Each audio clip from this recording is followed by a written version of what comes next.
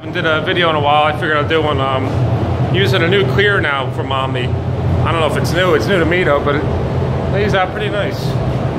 This is code uh, PSC Dodge. This one I usually just blend everything on. It's tough, this one.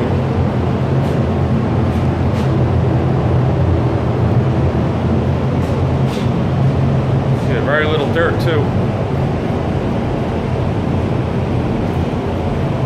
Came out pretty sweet.